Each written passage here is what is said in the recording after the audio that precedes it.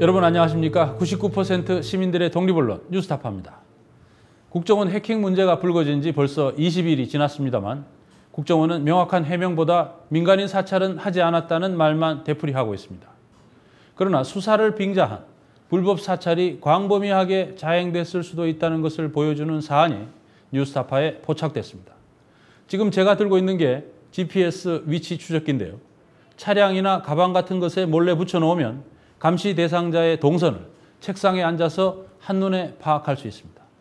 물론 국정원이나 경찰이 이런 장비로 사람을 감시하려면 반드시 법원의 영장을 받아야 합니다. 그러나 뉴스타파 취재 결과 경찰이 영장도 없이 혐의도 확정되지 않은 민간인을 이 위치 추적기로 감시했던 사실이 확인됐습니다. 홍효진 기자가 취재했습니다. 이상철 씨는 해경 보안 수사대를 위해서 일하는 수사 협조자. 이른바 공작원입니다. 활동 지역은 중국. 2013년 10월 당시 인천해양경찰청 보안수사대 소속 김모 경위는 이 씨에게 은밀한 지시를 내렸습니다. 중국에서 체류하고 있는 한국인 사업가의 차량에 몰래 위치 추적기를 부착해 감시하라는 것이었습니다. 이 사업가는 국가보안법 위반 혐의를 받고 있었습니다. 중국 정부의 협조 없이 진행하는 일이기 때문에 외교 문제를 일으킬 수도 있는 위험한 수사였습니다.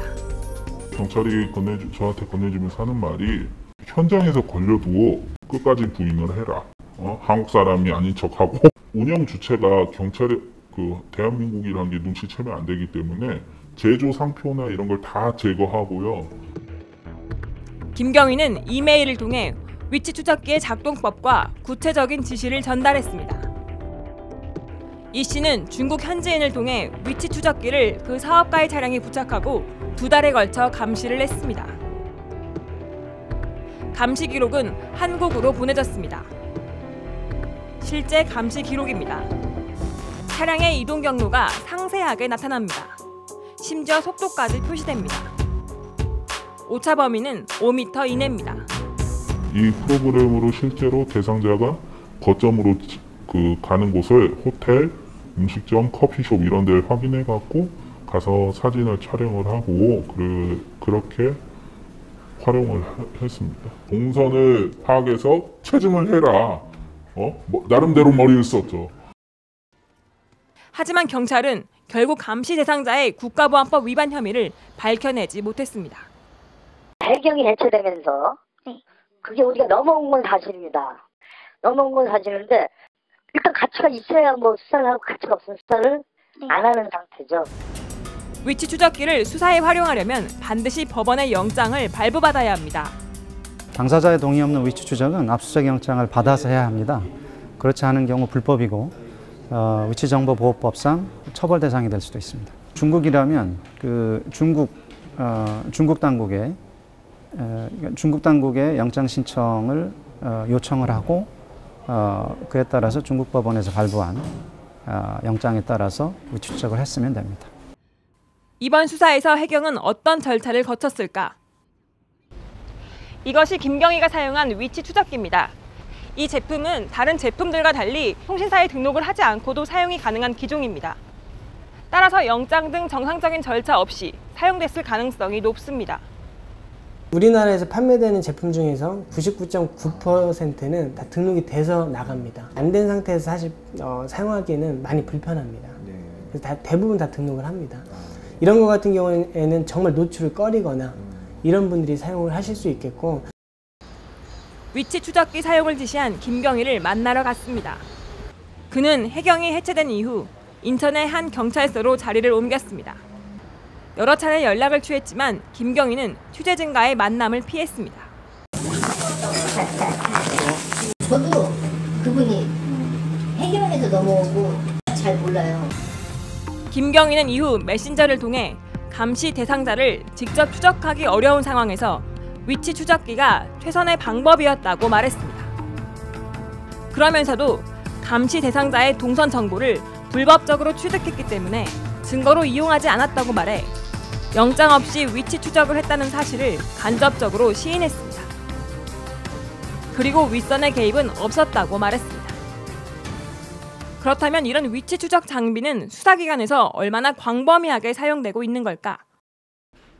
문제의 위치 추적 장비를 제작한 업체를 찾아봤습니다. 홈페이지에 주요 거래처로 경찰청이 나옵니다. 업체 관계자는 경찰청을 홍보용으로 소개했을 뿐 실제로 납품한 적은 없다고 말합니다. 경찰에다 판 적은 없는데 여기 주요 거래처를 보면은 경찰청이 네. 올라와 있어요. 아, 그 아니에요. 그쪽 경찰청. 음, 아, 그래요? 네, 저희가 경찰청으로 직접 뭘 납품하고 한 적은 없어요. 경찰청도 위치 추적 장치를 수사에 사용하지 않는다고 주장합니다. 수사기관에서는 그런 불법적인 방법은 제가는 안, 안 하는 걸로 알고 있습니다. 아, 못하죠? 그럼 혹시 경찰청에서 그럼 위치 추적 장치를 구매를 한다거나 그러진 않나요? 이게 그런 것도 없죠. 불법 장치를 구매할 수 있는 예산이라는 게 없죠. 그- 첩보 영화에서만 나오는 겁니다. 그건. 위치 추적 장치를 취급하는 다른 업체들을 탐문해 봤습니다. 한 업체 관계자는 관공서나 기업에서 대량으로 구입해 가는 경우가 많다고 말합니다. 인터넷 나가는 수령만 봐- 보더라도 한 100, 기본적으로 100대 이상 나가는 경우가 어, 많고요. 뭐 적게 나간다고 하면 10대, 20대 정도 이렇게 나가는 경우도 상당히 많습니다. 구체적인 대답은 꺼렸지만 경찰과 더 높은 곳이라고 넌지시 말합니다. 관공서 중에 혹시 좀 이런 데도 있었다고 하시면 근데 이제 관공서를 저희가 밝혀드릴 수는 있는데 이게 이, 이 관공서에서도 나름 보안이기 때문에 국가에서 하는 일 자체가 보안적으로 이루어지는 부분이다 보니까 제가 그 정보에 대해서는 어, 정확히 좀 보안을 유지할 필요가 있습니다. 저희 회사에서도. 수사기관에서도 이걸 제가 예. 봤을 때는 사용할 것 같은데 뭐 영화 같은 어, 수사기관에서도 사용합니다. 경찰서 쪽에서도 저희한테 연락을 오셔가지고 수사하는데 어, 사용을 하고요. 경찰서하고 직접 한번 거래, 거래도 해보신 어, 거래 많이 했습니다. 저희가 이거 판매한 지가 상당히 오래됐기 때문에 경찰서뿐만 아니고요. 더 그 높은 국가기관과도 거래를 했습니다. 소위 말하는 뭐 정보기관이라든지 그거면 자세하게 뭐 그런 것까지는 말씀드리긴 좀 어렵고요. 원래 기업용으로 나온 거지. 기업의 영업관리용으로 나온 건데, 이제 자꾸만 다른 쪽을 써가지고, 이제. 그런 거. 어쩔 수 없어요. 그렇게 쓰는 거는 뭐 어떻게 말리지 못해요. 좋은 쪽으로 더 많이 쓰는 제품인데. 휴대폰 위치 추적을 수사에 활용하려면 통신사의 협조가 필요하기 때문에 법원의 영장을 받아야 합니다. 하지만 GPS 위치 추적 장치는 이런 절차 없이 손쉽게 사람을 감시할 수 있고 주요 고객은 수사기관임이 드러났습니다. 뉴스타파 홍예진입니다. 야당이 국정원에 해킹 의혹을 풀 자료 제출을 요구해 왔지만 국정원은 가장 기본인 로그 기록조차 공개하지 않고 있습니다. 그러나 뉴스타파가 접촉한 전문가들은 국정원이 이미 로그 기록에도 손을 댔을 가능성이 있다고 말하고 있습니다. 따라서 국정원이 민간인을 해킹했는지를 확인하기 위해서는 로그 기록만이 아니라 해킹 프로그램의 운영 체계, 즉 하드디스크까지 들여다봐야 한다고 조언하고 있습니다. 김성수 기자입니다. 국정원 해킹 의혹의 본질은 국내 민간인에 대한 해킹 여부. 이를 판가름할 정보는 국정원 RCS 서버에 저장된 로그 기록 속에 들어 있습니다. 야당이 초기부터 로그 파일 원본 공개를 요구한 이유였습니다. 일시, IP 주소, 휴대전화 번호, 이메일 주소 등 타겟을 식별할 수 있는 주요 정보들이 들어 있을 겁니다. 국정원은 이 로그를 제출하셔야 합니다. 떳떳하다면 공개하지 못할 이유가 없습니다. 여당도 처음엔 국정원이 최대한 자료를 제출하도록 협조할 것처럼 대응했습니다. 그러나 국정원 직원 임모 과장이 일부 자료를 삭제하고 자살하자 의혹은 더 커졌고 여당 분위기는 급변했습니다. 우리 국방 전력의 정보 기록을 일일이 파헤치는 것은 국가 안보를 무장 해제시키는 것과 똑같습니다. 이러한 경우 무분별한 국정원 해킹 의혹 사건의 최대 수혜자는 다름이 아니고 북한이 될 것입니다. 국정원은 임 과장이 삭제한 자료를 모두 복원한 결과 문제가 될 내용이 전혀 없었다고 밝혔습니다. 삭제한 부분에 대해서 100% 복원을 했고 복원해서 보니까 어, 국내 사찰은 전혀 없었다. 그건 확신한다. 국정원장은 그에 대해서 직을 걸고 이야기하겠다. 그러면 그 전에 했는 일도 자기가 책임을 지겠다 이런 이야기를 했습니다. 그러니까 국내 사찰은 어, 있을 수도 없고 절대로 없다 하는 걸 이야기했고 그러나 야당은 이른바 셀프 검증 결과를 믿으라는 것이냐며 반발했습니다. 문제는 뭐냐면 국정원도 주장하듯이 백업번이 존재하지 않아요. 백업번 자체가.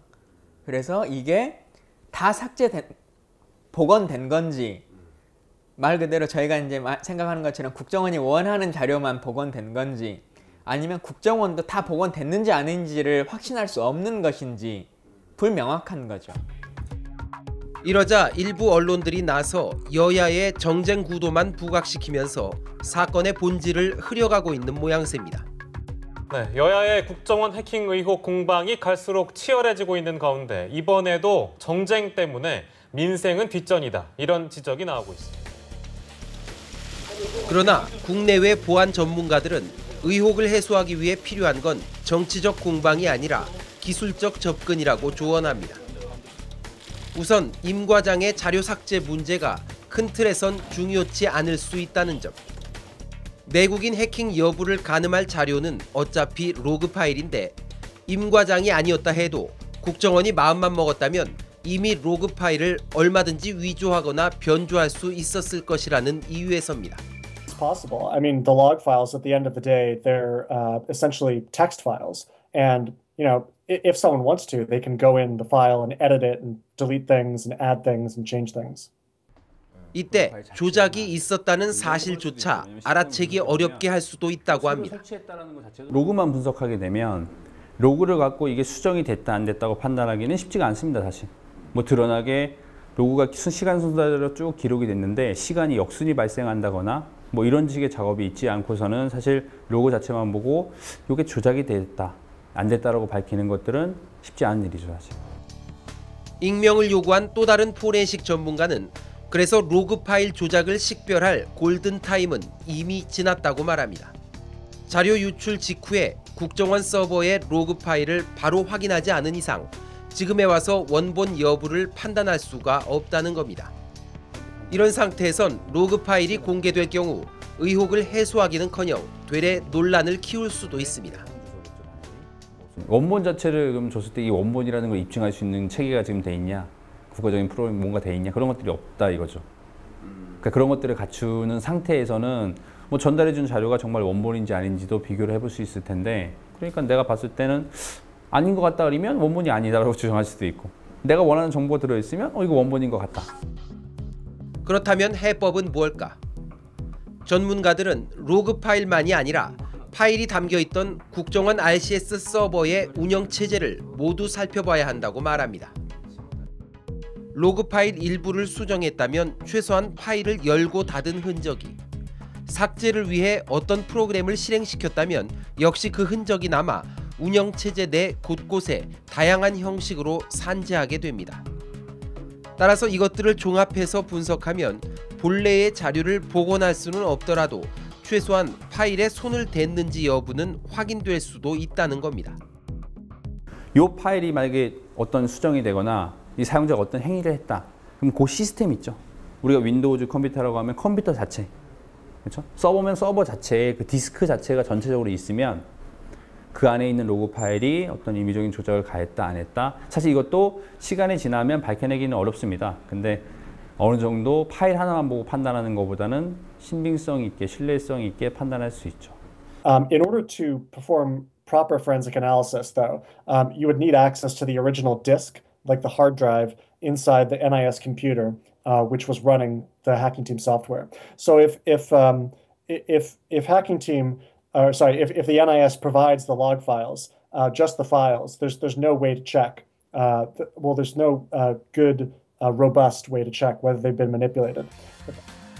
이런 면에서 본다면 야당이 민간 전문가와 국정원 기술진의 간담회 개최에 대한 전제 조건으로 하드디스크 원본을 요구한 것은 나름의 의미가 있어 보입니다. 국정원도 민간인 사찰 의혹을 근본적으로 해소하려면 이를 입증할 수 있는 디지털 증거를 제시하는 데 주력할 필요가 있습니다. 하지만 국정원은 자살한 임 과장이 해킹 책임자였기 때문에 다른 사람은 잘 모른다는 식의 해명으로 오히려 의혹을 부추기고 있습니다. 해킹팀에서 유출된 자료를 보면 국정원은 임 과장이 타 부서로 전출한 이후에도 지난 5월부터 자료 유출 때까지 157건의 이메일을 해킹팀과 주고받았고 이때 목표로 한 실전용 타깃만 57개나 됐습니다. 또 오는 10월에 해킹팀 관계자를 서울로 불러 RCS 교육을 받기로 하는 등 임 과장 없이도 차질 없이 해킹 업무를 진행했습니다. 국정원장이 직을 걸 정도로 의혹을 풀 자신이 있다면 전문가들이 인정하는 검증 방법을 국정원이 마다할 이유가 없습니다. 국정원 입장에선 이번이 대선 개입과 간첩 증거 조작으로 잃어버린 국민 신뢰를 복원하기 위한 마지막 기회일지도 모릅니다. 뉴스타파 김성수입니다. 이처럼 국가기관들의 사찰 공포에 떨어야 하는 우리 국민은 한편으로는 기업의 이윤 추구를 위한 개인정보 수집에도 고스란히 노출돼 있습니다. 지난해 6월 뉴스타파는 의사가 입력한 처방전이 약국으로 가기 전에 환자 동의도 없이 SK텔레콤 서버에 불법 저장되고 있는 현실을 고발했는데요. 당시 SK텔레콤은 불법은 없었다면서 서버를 공개하겠다고 약속했다가 취재진이 보안 소프트웨어 전문가와 함께 확인을 하겠다고 하자 돌연 말을 바꿔 공개하지 못하겠다고 했습니다.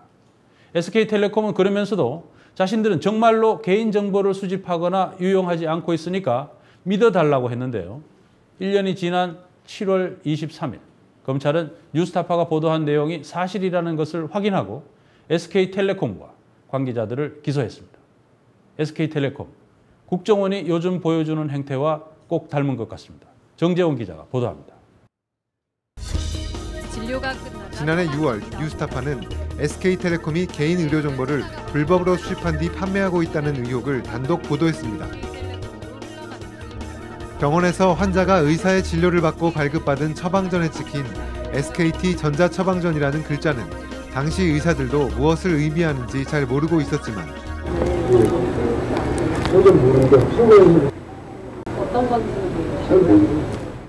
처방전에는 사적인 개인 정보들이 잔뜩 들어 있었습니다. 주민등록번호에다가 질병 분류 기호가 있거든요. 질병이 어떤 되고 어떤 약을 썼는지를 보면서 대략 짐작을 할 수 있어요. 중요한 개인 정보가 환자 본인의 동의도 없이 SK텔레콤 서버에 수집되고 있다는 의혹이 짙었지만 당시 SK텔레콤은 환자 정보가 서버에서 암호화됐다가 곧 삭제되기 때문에 아무런 문제가 없다고 주장했습니다. 그러면서 뉴스타파 취재진에게 자신들의 서버를 공개하겠다고 약속까지 했었습니다. 그러나 취재진이 전문가와 함께 확인 취재를 하겠다고 하자 돌연 말을 바꿔 공개는 못하겠지만 개인정보는 수집되지 않고 있다고 말했습니다. 보여드리는 부분에 대해서 네. 예, 이 조금 규정상 문제가 좀 있는 것 같아요. 회사 보안 규정이나 이런 것들 때문에 네. 조금 그러나 1년여가 지난 7월 23일 개인정보 범죄 정부 합동수사단은 뉴스타파의 보도 내용과 일치하는 수사 결과를 발표했습니다. 처방전 정보를 외부 서버로 실시간 전송받아 가맹점 약국에 건당 50원에 제공한 사실이 밝혀졌습니다. 검찰 수사로 SK텔레콤은 2011년부터 약 3년간 모두 7,800여만 건의 개인 의료 정보를 무단 수집한 뒤 약국에 팔아 약 36억 원의 수익을 올린 혐의가 드러났습니다. 개인정보 범죄 합동수사단은 의료법 위반 혐의로 SK텔레콤 법인과 임직원 3명을 기소했습니다.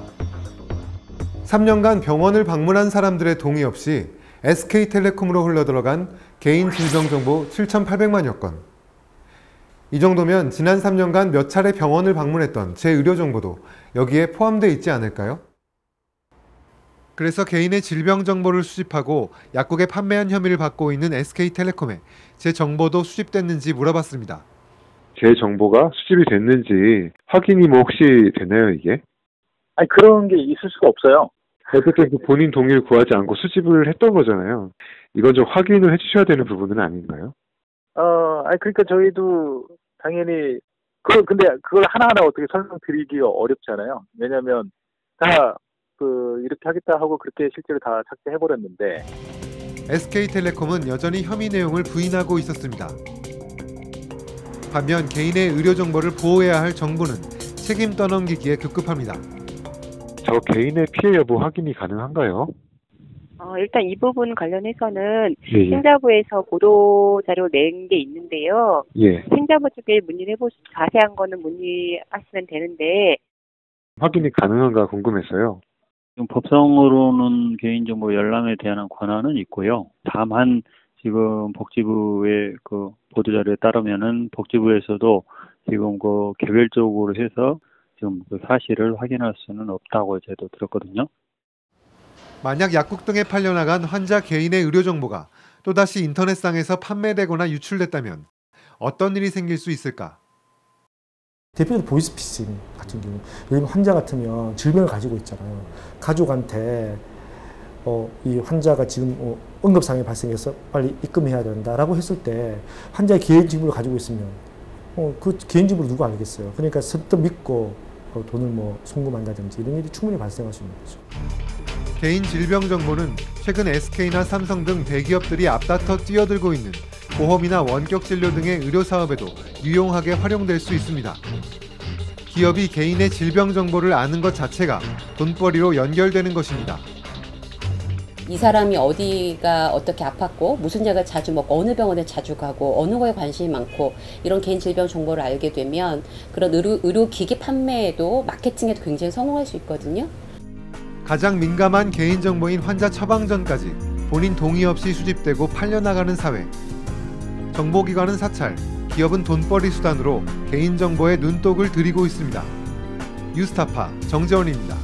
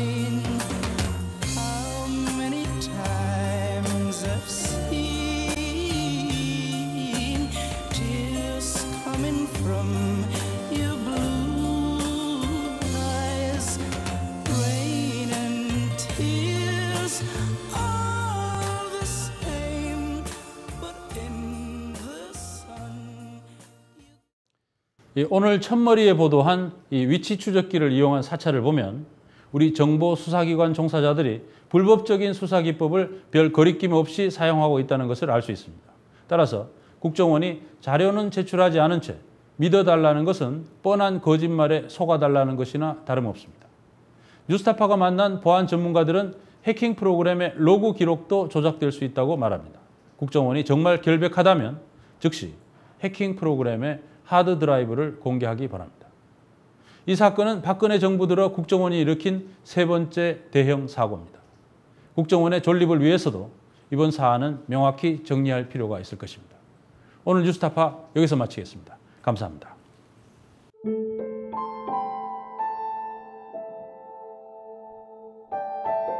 현장에서 걸려도 끝까지 부인을 해라. 운영 주체가 대한민국이라는 게 눈치채면 안 되기 때문에 경찰서뿐만 아니고요. 더 그 높은 국가 기관과도 거래를 했습니다. 국정원이 마음만 먹었다면 이미 로그 파일을 얼마든지 위조하거나 변조할 수 있었을 것이라는 이유에서입니다. 로고 자체만 보고 이게 조작이 됐다, 안 됐다라고 밝히는 것들은 쉽지 않은 일이죠. 사실. SK텔레콤은 여전히 혐의 내용을 부인하고 있었습니다. 반면 개인의 의료 정보를 보호해야 할 정부는 책임 떠넘기기에 급급합니다. 행자부 쪽에 자세한 거는 문의 하시면 되는데 복지부에서도 지금 그 개별적으로 해서 지금 그 사실을 확인할 수는 없다고 저도